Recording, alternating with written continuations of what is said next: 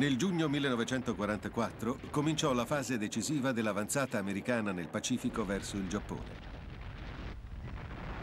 L'invasione delle isole Marianne fu un passaggio cruciale verso la vittoria. Come in ogni altra fase della guerra del Pacifico, le portaerei si rivelarono fondamentali.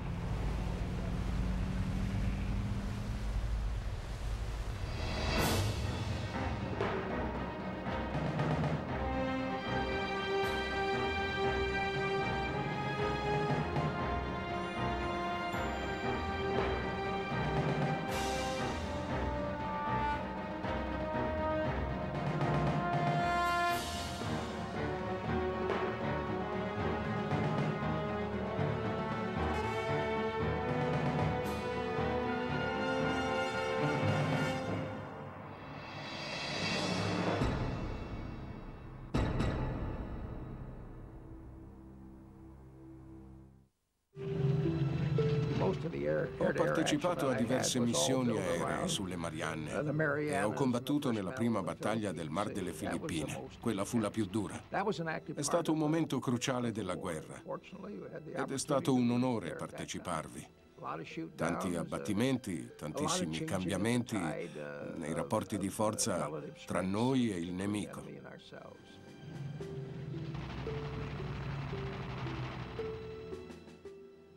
Le Marianne, una catena di 15 isole che si estende da Faraglión de Pájaros nel nord fino a Guam nel sud. Poco più di 300 miglia a nord si trovavano le basi giapponesi di Iwo Jima, 250 miglia a sud quelle delle isole Caroline. Oltre a Guam, anche sulle vicine Saipan e Tinian erano operative piste d'atterraggio d'emergenza. Queste tre isole erano gli obiettivi primari. Le Marshall, mille miglia ad est delle Marianne, conquistate dagli americani tra febbraio e marzo, erano i porti ideali per lanciare l'attacco. Oltre ai mezzi da sbarco, 535 tra navi da guerra e vascelli ausiliari avrebbero preso parte all'operazione Forager, 127.511 i soldati coinvolti. Il giorno fissato era il 15 giugno. L'ammiraglio Chester A. Nimitz manteneva il comando generale nel Pacifico, ma l'operazione Forager sarebbe stata condotta sul campo dall'ammiraglio Raymond A. Spruance, comandante della Quinta Flotta. Lo avrebbe affiancato il viceammiraglio Mark A. Mitcher, comandante delle portaerei della Task Force 58, che avrebbe assicurato copertura alla forza di spedizione congiunta di Marina ed Esercito durante l'invasione. La Task Force 58 era composta da quattro gruppi autonomi di portaerei, chiamati Task Group 58 1, 2, 3 e 4, protetti da incrociatori e cacciatorpediniere di scorta. In tutto, le 14 portaerei avrebbero disposto di 896 tra bombardieri e caccia. L'8 giugno la forza di spedizione congiunta si era radunata nelle isole Marshall. Le truppe dirette a Saipan salparono il 9 giugno, quelle a Guam il 12. Una volta stilati i piani definitivi, gli americani iniziarono le ricognizioni con aerei decollati dalle basi in Nuova Guinea, Marshall, Isole dell'Ammiragliato e Salomone. Il 18 aprile, mentre i Liberators scattavano foto aeree di Saipan e Guam, i bombardieri B-24 di scorta attaccarono obiettivi militari. Dal 26 aprile fino all'immediata vigilia dell'operazione, aerei in missione di ricognizione decollarono con regolarità dalle Marshall. Il bombardiere B-24 Liberator è passato alla storia insieme al B-17, la fortezza volante, per i bombardamenti sulla Germania. Nello scenario del Pacifico fu privato degli armamenti e la capacità di carico fu sacrificata alla maggior capienza dei serbatoi per farne un aereo da fotoricognizione con un raggio di 2000 miglia, superiore a qualsiasi velivolo operativo nell'area. Raggiungeva una velocità di 460 km orari e una quota massima di 30.000 piedi. Era ideale per decollare dai territori appena strappati ai giapponesi, come le isole Salomone e le Marianne. Poteva coprire enormi distanze. Fu preziosissimo per la quinta flotta dell'ammiraglio Spruance. Già da tempo i giapponesi si aspettavano un attacco sul loro perimetro difensivo nel Pacifico occidentale, che si estendeva per 2000 miglia a nord-ovest della Nuova Guinea. Il comandante in capo della flotta combinata giapponese, ammiraglio Soemu Toyoda, optò per una rischiosa strategia difensiva. L'operazione Eigo mirava ad attirare la flotta americana in un'unica battaglia decisiva, in cui i giapponesi avrebbero impiegato gli aerei decollati dalle vicine basi a terra. Il 3 maggio scelse le isole di Palau e le più occidentali delle Caroline, Yap e Walei, per la battaglia decisiva. Toyoda voleva attirare gli americani con una flotta civetta distaccata dalla prima flotta mobile agli ordini del viceammiraglio Jisaburo Ozawa, dislocata nei pressi di Taui Taui, nell'arcipelago delle Sulu. Una volta ricevuto l'ordine, Ozawa avrebbe immediatamente puntato ad est delle Filippine, assicurandosi di non essere individuato. Toyoda prevedeva un completo successo. Il 16 maggio la flotta di Ozawa converse su Taui Taui, la più meridionale delle Sulu. Cinque giorni dopo, Toyoda gli comunicò di prepararsi. Più di ogni altra cosa i giapponesi temevano le portaerei americane. L'operazione Eigo mirava ad attirarle in un punto dove potessero essere attaccate e neutralizzate. Per sfruttare al meglio gli aerei decollati da basi a terra, quel punto doveva essere a sud-est delle Filippine. I giapponesi avevano un altro problema. Le loro scorte di carburante erano limitate. Pertanto dovevano attirare la flotta nemica in quest'area e attaccare sia le portaerei che la forza da sbarco della Task Force. Dopo essersi sbarazzati delle portaerei, avrebbero potuto condurre una classica battaglia navale.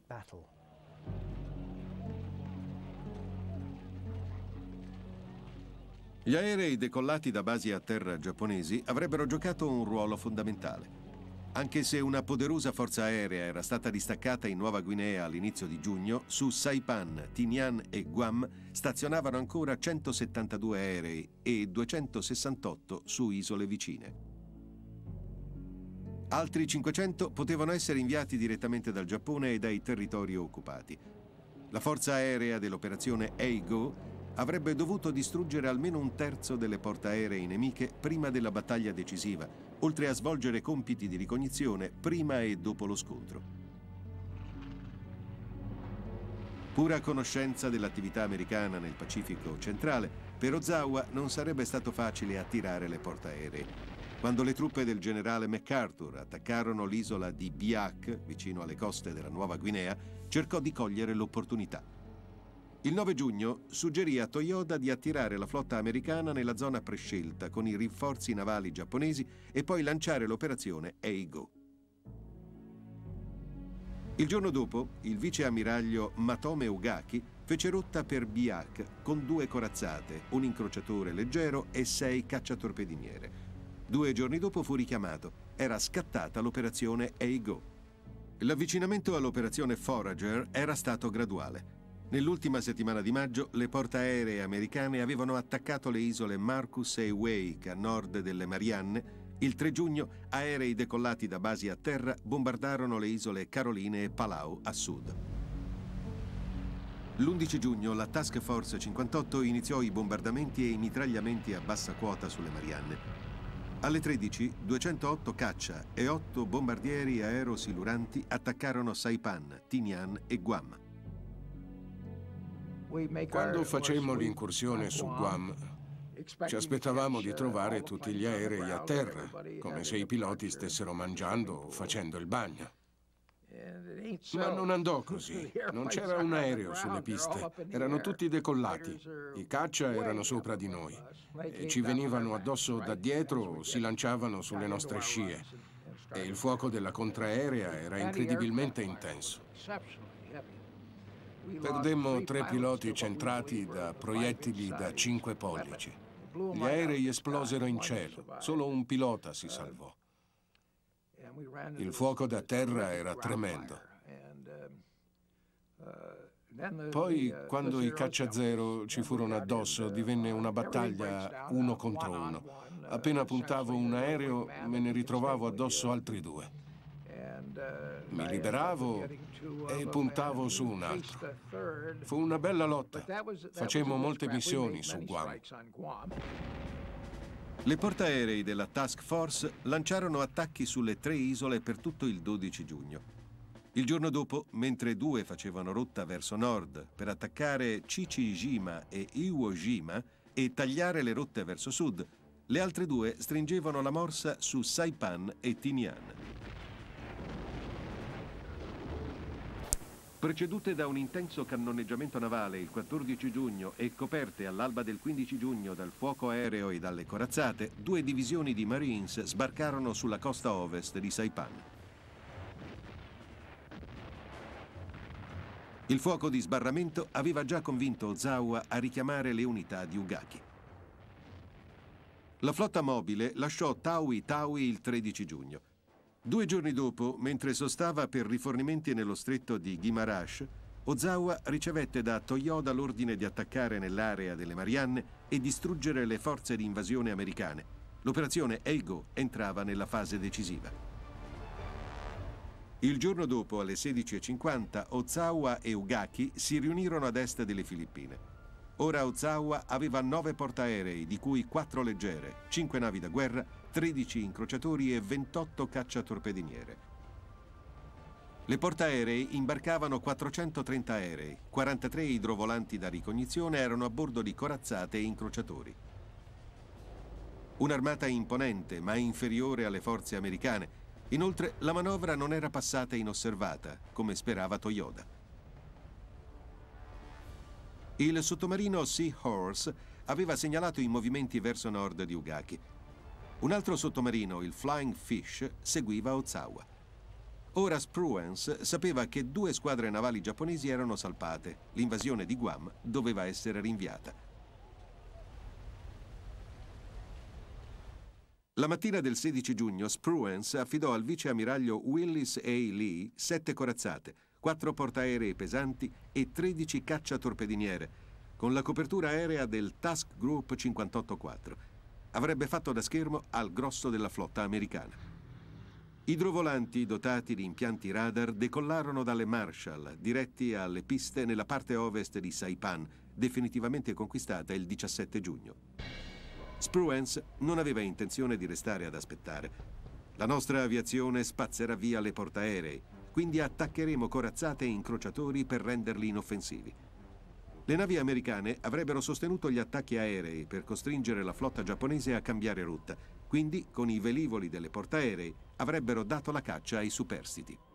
Senza informazioni precise sulla posizione del nemico, Spruance non poteva salpare verso ovest tra il 17 e il 18 giugno.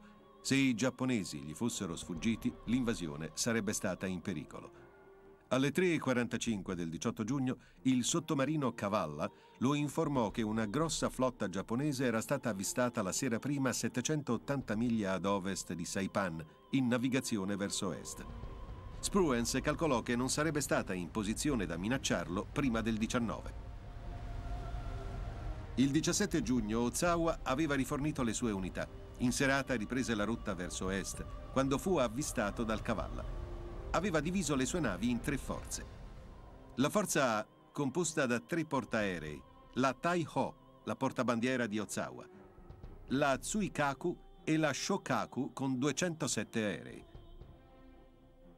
La forza B, agli ordini del contrammiraglio Yoshima, contava sulle due portaerei principali, Junio e Iyo, e sulla portaerei leggera Ryoho, che insieme imbarcavano 135 velivoli. I due gruppi erano scortati da una corazzata, quattro incrociatori e 16 cacciatorpediniere. La forza C era l'esca ed era agli ordini del vice ammiraglio Curita.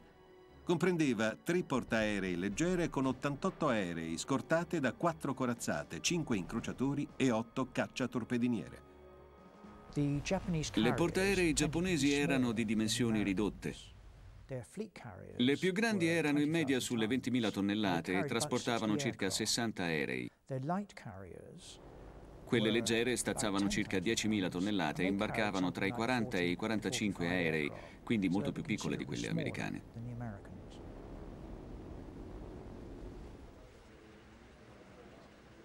All'alba del 18 giugno nessuno dei comandanti conosceva l'esatta posizione dell'altro. Dalla segnalazione del Cavalla erano passate sei ore. Ozawa aveva due lievi vantaggi. I suoi caccia Zeke e i bombardieri siluranti Gill potevano decollare dalle portaerei, attaccare gli americani in virtù del loro ampio raggio e raggiungere le basi giapponesi di Guam e Rota. Anche gli idrovolanti da ricognizione avevano un raggio più ampio di qualsiasi velivolo statunitense e potevano informare Ozawa sulla posizione del nemico.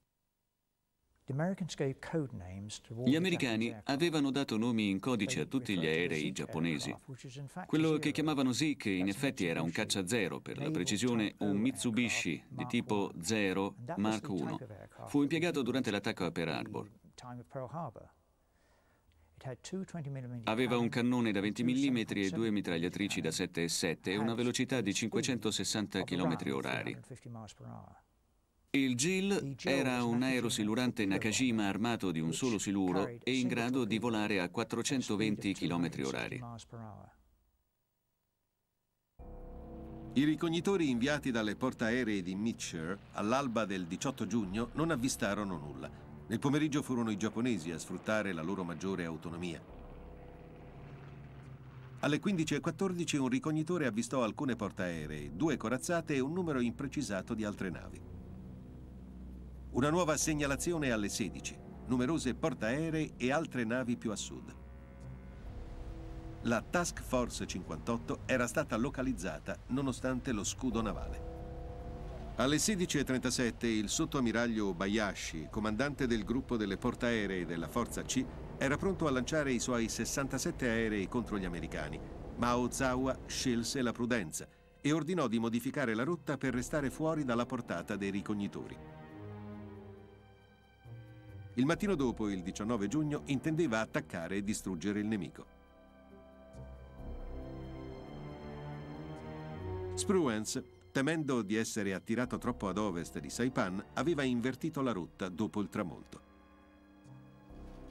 Al quartier generale della flotta del Pacifico a Pearl Harbor fu segnalato che alle 8.23 della sera erano state intercettate comunicazioni radionemiche verso la flotta di Ozawa, localizzata a 350 miglia ad ovest-sud-ovest della Task Force 58. Mitcher Chiese l'autorizzazione di modificare la rotta per poter lanciare un attacco aereo all'alba, ma Spruance temeva che una consistente forza giapponese potesse sfuggire allo sbarramento e negò il suo assenso. Si fidava poco delle intercettazioni e se il messaggio captato dal sottomarino Stingray era vero, il nemico poteva essere già molto più vicino. Nelle stesse ore un idrovolante della Marina americana aveva individuato con il radar due grandi gruppi navali nel Mar delle Filippine, quasi certamente le forze A e B di Ozawa. Per un destino beffardo, Spruance ricevette questa vitale informazione solo alle 9 del mattino del 19 giugno. I ricognitori inviati dalla Task Force 58 durante la notte e nelle prime ore dell'alba non avvistarono la flotta giapponese. Ozawa fu più fortunato. Alle 4.45 del mattino del 19 giugno, dalle navi di scorta della Forza C decollarono 16 idrovolanti in cerca degli americani. Alle 7.30 uno avvistò il Task Group 58-1. Decollati alle 5.15, 13 aerosiluranti della Forza C raggiunsero i cacciatorpediniere di picchetto dello scudo navale di Lee, ma sette furono abbattuti dagli Hellcats prima di poter sparare un colpo. Il Kate era un aerosilurante Nakajima, il modello standard in dotazione alla marina giapponese durante la guerra del Pacifico. Imbarcava un siluro da 356 kg, ma poteva anche essere impiegato come bombardiere a bassa quota. Il Jake era un idrovolante impiegato come aerosilurante nel Pacifico. Poteva trasportare una bomba da 250 kg e un peso equivalente in carica di profondità.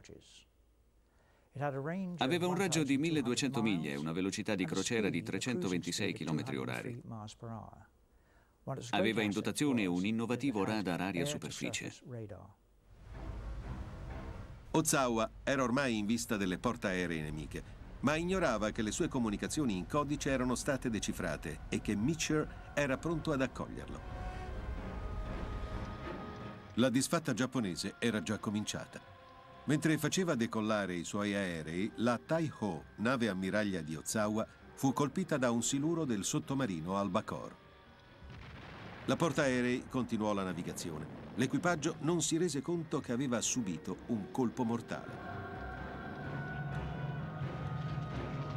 Dall'alba del 19 giugno, gli Hellcats della Task Force 58 avevano cominciato a pattugliare l'area circostante.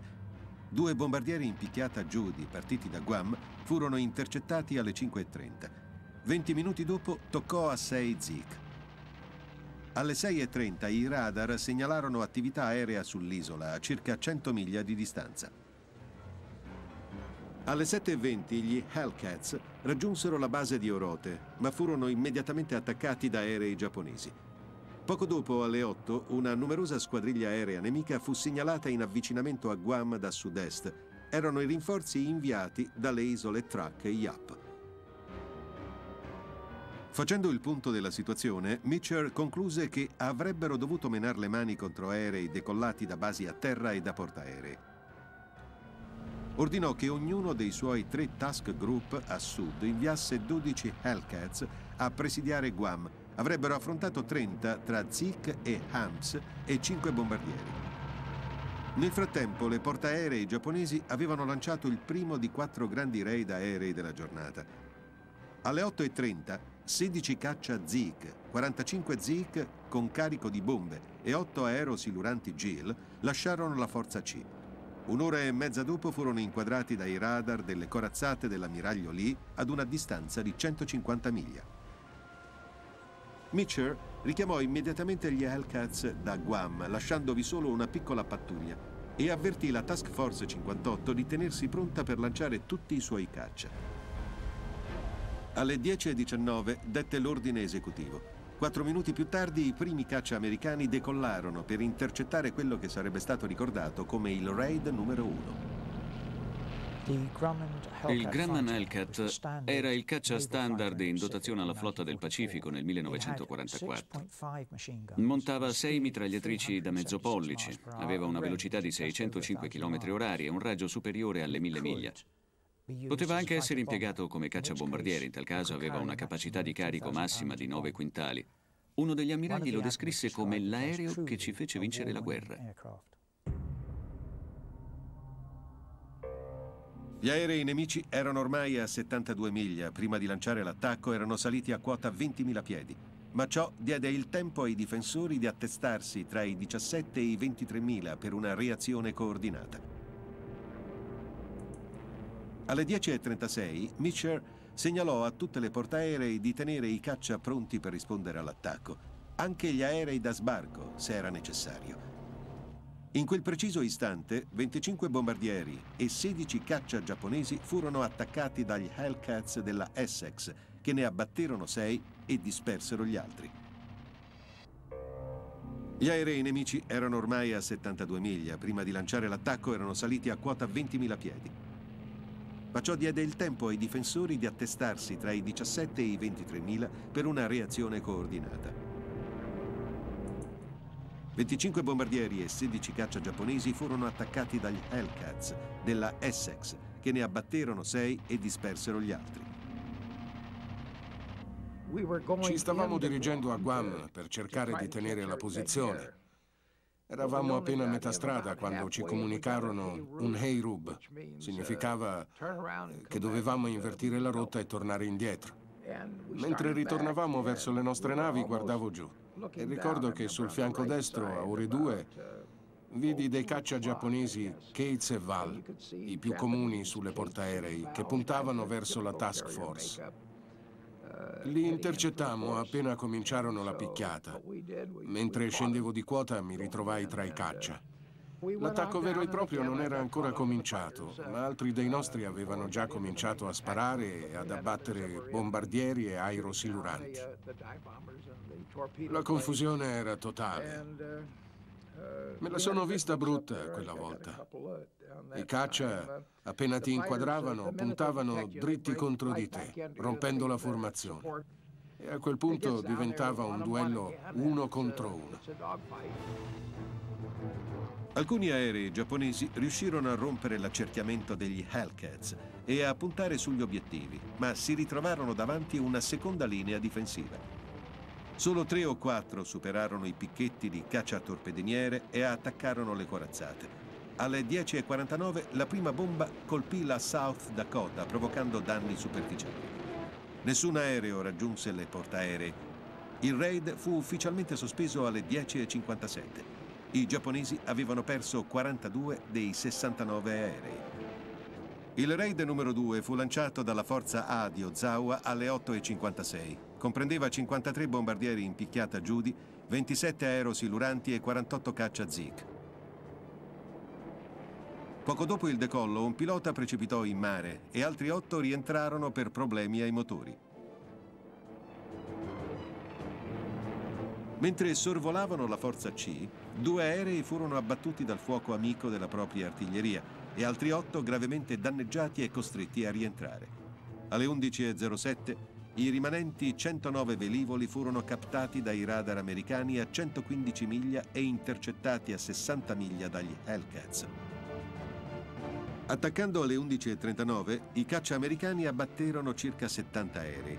I pochi che riuscirono a passare trovarono il fuoco della contraerea navale di Lee e di altri 42 Hellcats. A mezzogiorno sei Judy attaccarono il Task Group 58-2.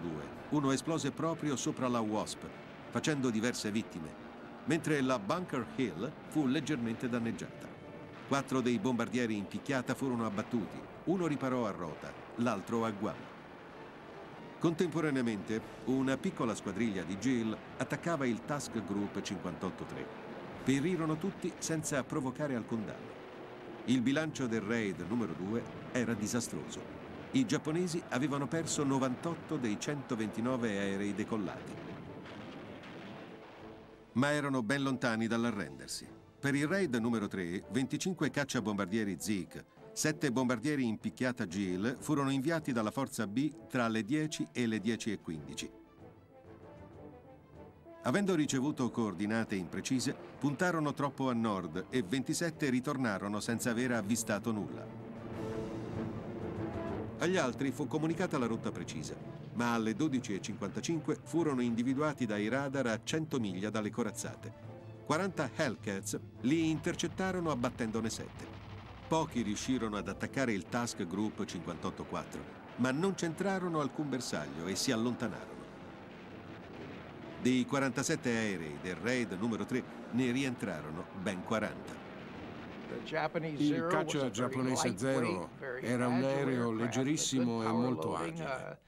Aveva una grossa potenza di fuoco, ma praticamente nessuna protezione per il pilota né per i serbatoi.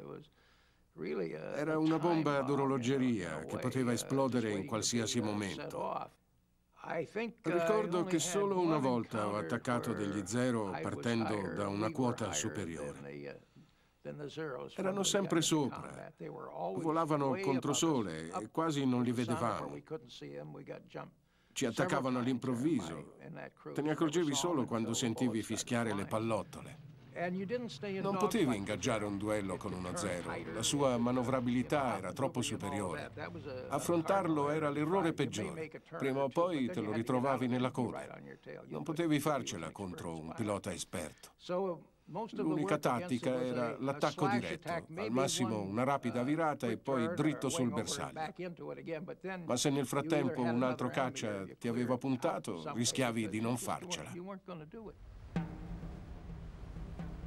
Il raid numero 4, l'ultimo tentativo giapponese, fu lanciato tra le 11 e le 11.30. Comprendeva 30 Zik, 8 Judy e 27 bombardieri in picchiata Val, 10 cacciabombardieri Zik e 6 aerosiluranti GIL decollati dalle portaerei della Forza B e da una della Forza A. Questa volta gli aerei si spinsero troppo a sud, mancando il bersaglio.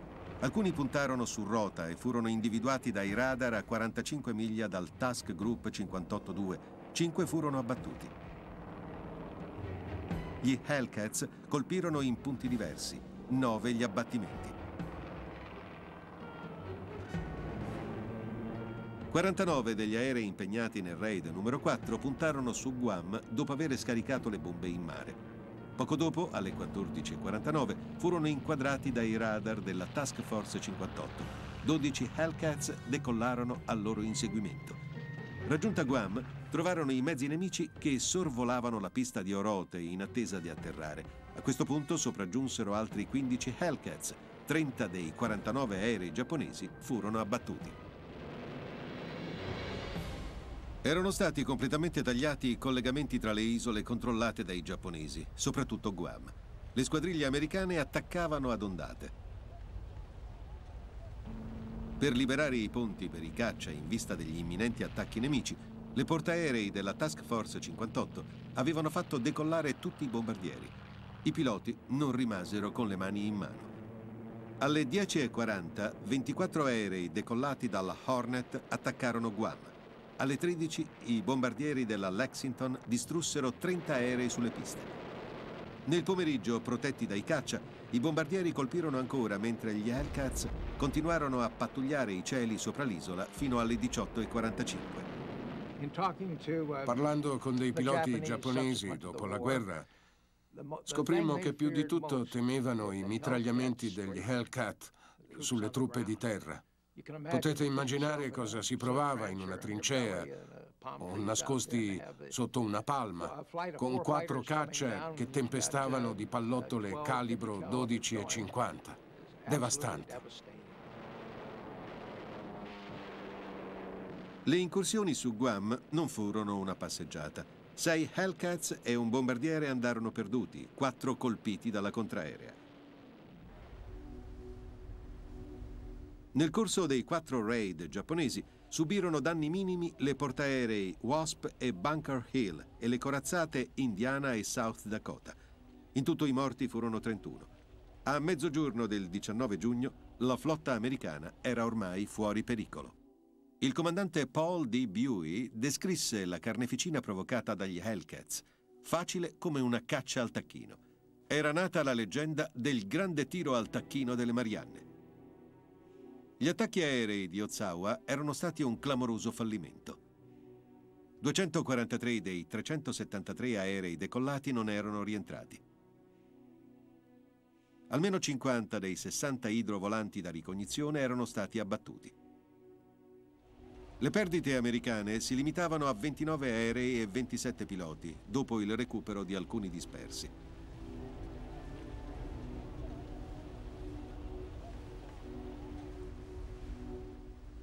Il 19 giugno Ozawa subì altri gravissimi rovesci. A mezzogiorno e 20 la portaerei Shokaku fu silurata dal sottomarino Cavalla. Alle 15 affondò dopo l'esplosione del deposito munizioni. Alle 15.32, danneggiata per un precedente siluramento, la Tai Ho subì un'analoga deflagrazione e affondò alle 17.15. Ozawa trasferì la sua bandiera prima sul cacciatorpediniere Wakatsuki, poi alle 17.06 sull'incrociatore Aguro. Si era salvato, ma due delle sue nove portaerei erano perdute. Ozawa fu ingannato dai resoconti dei suoi piloti che parlavano di numerosi Hellcats abbattuti e di almeno sei portaerei in fiamme. La radio di Tokyo annunciò l'affondamento di ben 11 portaerei americane. Ignaro che molti dei suoi aerei non erano riusciti a raggiungere le basi a terra, il 20 giugno Ozawa si organizzò per rifornirsi di carburante e recuperare i velivoli che credeva al sicuro a Guam e Rota. Ma lo sbarramento navale di lì era a sole 25 miglia. Alle 20 del 19 giugno, tre dei task group virarono verso ovest a 23 nodi per inseguire Ozawa. Il task group 584 rimase a coprire le Marianne ancora occupate dai giapponesi. Durante la notte gli aerei americani colpirono Tinian e bombardarono nuovamente Guam. Mitchell ricordava l'ammonimento di Spruance, assicurare una protezione adeguata a Saipan. Ma ora che conosceva la rotta del nemico, il comandante della quinta flotta fremeva per lanciare l'attacco. Eppure non sarebbe stato facile scovare Ozawa. In teoria, la Task Force 58 avrebbe dovuto raggiungerlo nella notte tra il 19 e il 20 giugno, dal momento che la flotta mobile procedeva a soli 18 nodi. Ma due ore prima che gli americani iniziassero l'inseguimento, Ozawa modificò la rotta. Così eluse i ricognitori ad ampio raggio Liberator, decollati dalle isole dell'ammiragliato, gli idrovolanti che pattugliavano Saipan e anche i sottomarini. Mantenendo il silenzio radio per tutto il 20 giugno, il comandante giapponese riuscì a far perdere le tracce. Dalle 5.30 inviò staffette di idrovolanti per localizzare il nemico. Alle 7.13 del mattino avvistarono due ricognitori americani, ma nessuna nave. Decise di continuare le operazioni di rifornimento, ma i sistemi di comunicazione dell'attuale ammiraglia, la Aguro, erano scadenti e le manovre proseguirono fino a mezzogiorno. Alle 13 Ozawa si trasferì nuovamente sulla portaerei Tsuikako. Lì fu informato delle reali dimensioni delle loro perdite. Tuttavia era ancora convinto di avere inflitto una dura lezione agli americani ed era determinato ad ingaggiare battaglia il 21 giugno. Dei messaggi da Tinian lo portarono all'errata conclusione che fossero giunti rinforzi aerei da Iwo Jima e Trak e Toyota non aveva sospeso la missione. Improvvisamente ogni sua sicurezza svanì. Alle 4.15 l'incrociatore Atago intercettò una trasmissione radio americana. Erano stati avvistati. Entro mezz'ora Ozawa sospese i rifornimenti, cambiò rotta e si allontanò a 24 nodi di velocità sperando di distanziare gli inseguitori. Per tutta la mattina e fino al primo pomeriggio gli americani avevano setacciato l'intera zona. Alle 15.38 un Avenger avvistò le navi giapponesi 275 miglia a nord-est della Task Force 58, ma il messaggio arrivò incompleto. Solo alle 16.05 l'esatta posizione dei tre gruppi nemici fu comunicata alla flotta americana. Fu questa la trasmissione intercettata dalla Tago. Era ormai il tramonto, quando gli americani arrivarono alla distanza per un attacco con le portaerei. Mitcher ordinò lo stesso di far decollare le squadriglie. Il comandante della quinta flotta fu informato che le portaerei erano pronte. Mitcher sapeva di avere un solo colpo in canna.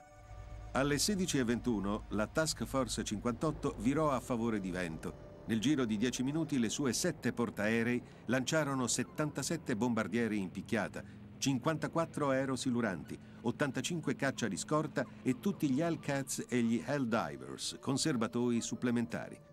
I primi piloti americani erano in volo già da 10 minuti quando fu comunicata la nuova posizione del nemico. Ozawa si era allontanato di 60 miglia. Mitcher dovette abbandonare l'idea di un secondo attacco. Gli stessi piloti cominciavano a dubitare di poter ritornare alle loro portaerei. L'incognita era il carburante. Sapevamo che rischiavamo di non tornare, ma non ci aspettavamo quella sorpresa. Eravamo già in posizione Fly One, quella in cui il segnalatore si appresta a lanciare il decollo dal ponte. Ed ecco che l'addetto alle comunicazioni, quello con le cuffie, prende la lavagna e l'alza contro il vento. C'è scritto nuova posizione nemico. La rotta era cambiata di poco, ma la distanza 305 miglia. A quel punto tutti sapevamo che non ce l'avremmo fatta a tornare. I caccia avrebbero avuto qualche possibilità, gli aerosiluranti nessuna, i bombardieri in picchiata una via di mezzo. Questo pensavamo quando decollammo. Il sole era ormai basso all'orizzonte quando alle 18.40 avvistarono i giapponesi. Sei navi cisterna e sei cacciatorpediniere navigavano in scia ai tre gruppi navali che procedevano allineati e a ranghi serrati per garantire il massimo fuoco antiaereo dopo aver perso il grosso della loro copertura. Gli aerei della Hornet, della Yorktown e della Bataan puntarono la forza A. La nuova miraglia di Ozawa, la Tsuikaku, fu danneggiata così gravemente che rischiò di affondare. Le squadriglie decollate dalla Bunker Hill dalla Monterey e dalla Cabot si concentrarono sulla forza C. La portaerei Chiyoda, la corazzata Aruna e l'incrociatore pesante Maya furono colpiti. Nello stesso momento gli aerei della Wasp si scatenarono sulle navi cisterna. Due furono abbandonate dall'equipaggio. Tutte le portaerei della forza B furono colpite. La Ryuho fu centrata da una sola bomba e non riportò grossi danni. Anche la Junio rimase operativa, pur colpita da due ordigni a mezza nave. Al contrario, la Io fu prima centrata da due siluri degli Avengers, poi colpita da bombardieri in picchiata. Affondò due ore dopo. Per i piloti americani si preparava un rischioso volo di ritorno con i serbatoi quasi vuoti. Si tornava a casa, ma era buio. Avevamo coperto un terzo della distanza quando gli aerosiluranti cominciarono a lasciarci, non solo quelli della mia nave ma anche di altri portaerei. Avevano finito il carburante, tentavano di ammarare, sparivano uno dopo l'altro. La situazione era critica. I primi piloti raggiunsero le portaerei alle 20.45. Nel tentativo di guidarli, Mitchell aveva fatto accendere tutti i fari sulle navi. Un azzardo se ci fossero stati sottomarini in zona. Furono lanciati razzi di segnalazione. I cacciatorpediniere puntarono le fotoelettriche in mare per individuare uomini e canotti. Nonostante tutti gli sforzi, ci furono diversi incidenti. Solo sulla Lexington cinque aerei si schiantarono sul ponte. Era isteria, allo stato puro, isteria allo stato puro. Si era diffuso il panico. Nessuno sapeva dove fosse la sua nave, tutti eravamo a corto di carburante. Quattro piloti rimasero a secco proprio in vista della nave. Due ammararono lungo la fiancata, gli altri due tentarono l'atterraggio. Atterravamo su qualsiasi tipo di nave, incrociatori, cacciatorpediniere, qualsiasi cosa che avesse una luce. L'ordine di accendere le luci partito da Mitchell salvò molte vite vite. L'ultimo aereo atterrò alle 22.52. Oltre ai 20 aerei abbattuti dalla flotta giapponese, 17 Hellcats, 35 Helldivers e 28 Avengers si persero durante il volo di ritorno. Alle 19.12 del 20 giugno, mentre i suoi aerei si allontanavano dalla flotta di Ozawa, Mitchell propose di inseguire il nemico con le corazzate di Lee. Spruance non voleva dividere la Task Force 58. Solo all'alba ordinò di procedere alla massima velocità possibile sulla scia di Ozawa. Dopo che gli aerei americani furono rientrati dall'attacco al tramonto del 20 giugno, fu proposto che le corazzate dell'ammiraglio Lee partissero immediatamente all'inseguimento della flotta giapponese. Successivamente si apprese che era a circa 570 miglia da Okinawa. L'ammiraglio Spruance si oppose, voleva mantenere l'unità tattica della task force durante la notte. Temeva che le corazzate dell'ammiraglio Lee si sarebbero ritrovate senza copertura aerea. E anche se avessero raggiunto i giapponesi, non era così sicuro che sarebbero riusciti a rallentarli in attesa della Task Force 58. La sua cautela si rivelò fondata. Se le corazzate di lì fossero arrivate a distanza di tiro dalla flotta nemica, sarebbero state indifese contro gli aerei giapponesi. Spruance ignorava che due delle loro portaerei erano affondate, ma quelle superstiti sarebbero state più che sufficienti. Spruance fu incoraggiato dal rapporto di un idrovolante da ricognizione. All'1.30 del 21 giugno le navi di Ozawa lasciavano una scia di carburante. I ricognitori americani seguivano i giapponesi, ma alle 7.43 il nemico era ormai lontano 360 miglia. Il grosso della flotta nemica era fuori portata. Spruance decise di concentrarsi sulle navi danneggiate che potevano essere rimaste attardate. Per tutto il 21 giugno, la Task Force 58 avanzò verso nord, mentre i ricognitori perlustravano l'area in cerca di vascelli nemici. Alle 20.30 Spruance sospese l'inseguimento. Ma in pratica la battaglia del Mar delle Filippine era terminata la sera del 20 giugno ed era stata decisa dalla caccia al tacchino del giorno prima. Per i giapponesi fu una sconfitta fatale. Gli sbarchi americani sulle Marianne non erano stati arrestati e presto il martellamento dei bombardieri B-29 decollati dalle basi nell'arcipelago sarebbe diventato continuo.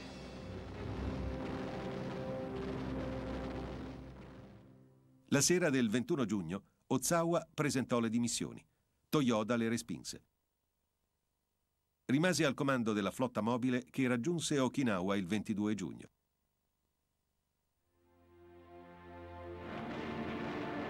Nei due giorni di battaglia, i giapponesi non avevano affondato né danneggiato seriamente nessuna nave americana.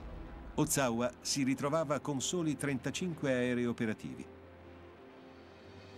Più di 100 velivoli giapponesi erano stati distrutti sulle Marianne e su altri territori occupati. Contando anche quelli ammarati o precipitati dopo la missione del 20 giugno, gli americani avevano perso 130 aerei.